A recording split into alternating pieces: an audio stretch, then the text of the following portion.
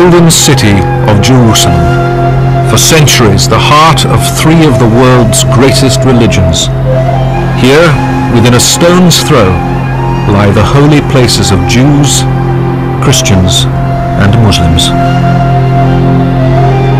Within this microcosm, each religion has marked and glorified its sacred sites, realizing in architecture the complex amalgam of praise, awe, and transcendence that is sacred art. Sacred art is an interiorizing movement. It's calm, and there's light and silence. It leads you towards contemplation. And that is true for sacred art, if it's properly sacred, wherever it is. To the faithful, the significance of religious art far exceeds its artistic merit, great though that may be, and on the rare occasions when its loss occurs, the impact is immense. In 1969, here in Jerusalem, just such a loss occurred. This is the extraordinary story of what followed. The revelations, the obstacles, the struggles, and the ultimate triumphs that brought about a re-evaluation of ancient traditions of religious art in the 21st century.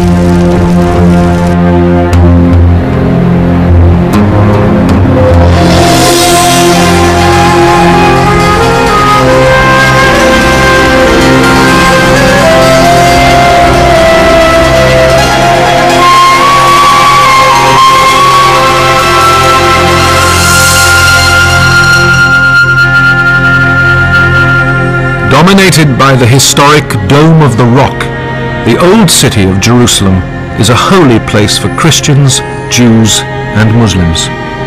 For Muslims, the Al-Aqsa Mosque is a site of special reverence. It marks the place from which the Prophet Muhammad ascended to heaven, making it the third most holy site in Islam. And it is under the custodianship of the Hashemite royal family of Jordan in a sacred trust that goes back centuries. Our family was the custodians of Jerusalem until 1967. Uh, the West Bank, including Jerusalem, East Jerusalem, was part of Jordan. In 1988 or 1987, I think it was, we said that we will no longer represent the people of the Palestinian people, uh, and uh, they will represent themselves. And so we severed ties with the West Bank. We became no longer responsible for the West Bank, except for Jerusalem, precisely. And our peace treaty with Israel in 1994 recognizes, the Israelis recognize our special significance, uh, our custodianship of Jerusalem. And it still is under Jordanian, under Hashemite rather, custodianship. The mosque has stood here for more than a thousand years.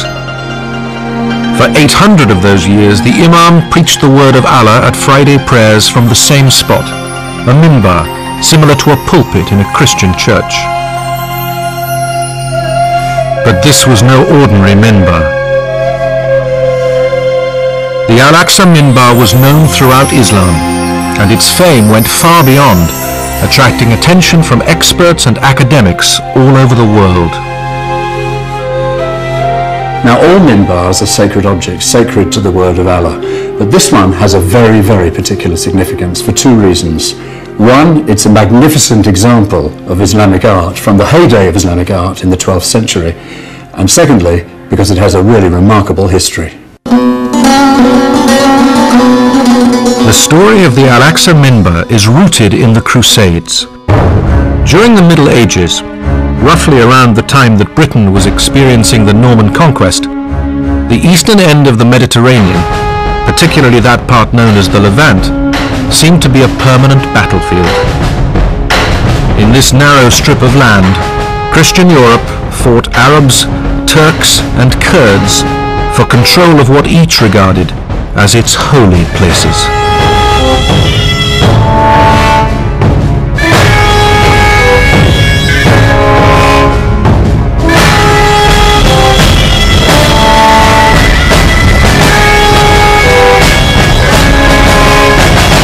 low point from the Muslim point of view came with the brutal taking of Jerusalem by the Christian Crusaders in 1099. It was a merciless rout and absolutely ruthless, and it looked as though the grip of the Christians on Jerusalem was unassailable.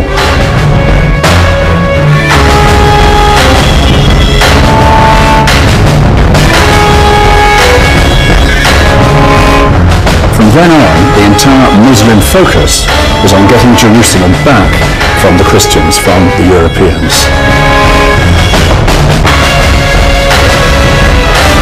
It took nearly a hundred years, but so certain were the Islamic leaders of success that in 1168 the warrior leader, the Seljuk Sultan Nur al-Din, commissioned a fine minbar to be made in Aleppo in preparation for the triumphal return to Jerusalem. This particular minbar was one of the most richly decorated pieces of sacred art, of Islamic art, ever conceived. And it was designed and made at the zenith of Islamic culture in the 12th century by the very finest craftsmen that could be found anywhere.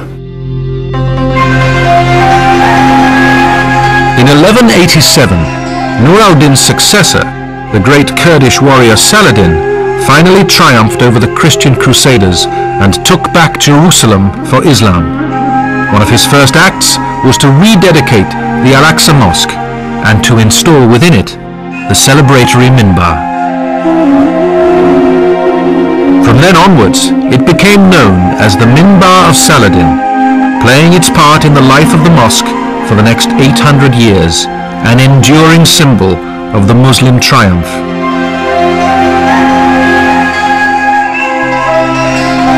Then, early in the morning of August the 21st, 1969, a fire broke out in the Al-Aqsa Mosque.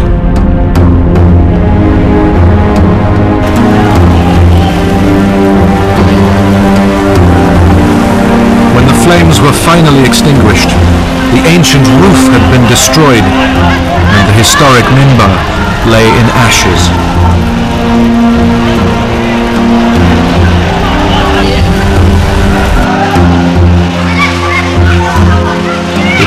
Agonizing blow, an unimaginable loss.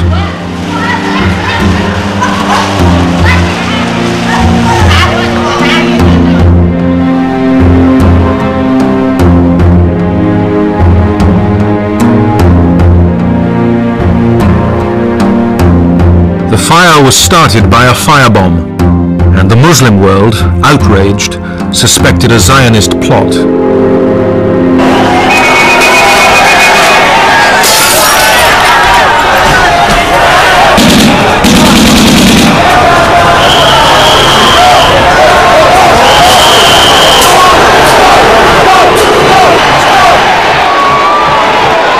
But the culprit turned out to be a Christian zealot, an Australian called Dennis Michael Rohan.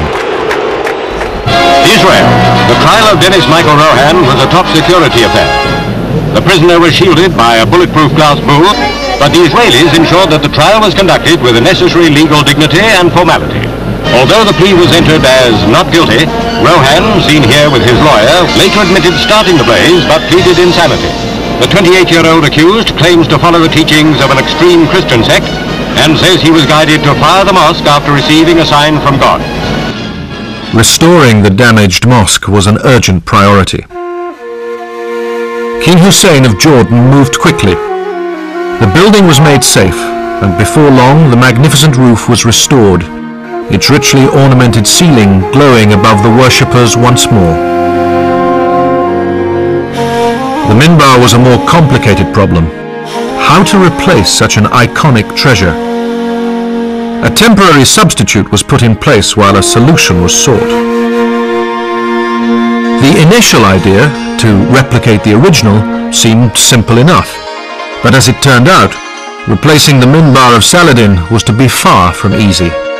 For the late King Hussein and his successor, King Abdullah II, it became a lengthy and far-reaching quest, one that was to last more than 30 years. It was a puzzle. The minbar was made in a remarkable way. It was made without any nails. And it was made according to sacred proportions. Sacred proportions to do with numbers. Numbers uh, have in, as it were, sacred geometry, a significance that they're not merely uh, quantities, but also qualities. Nobody in the world could find the exact proportions again because there was no record of it.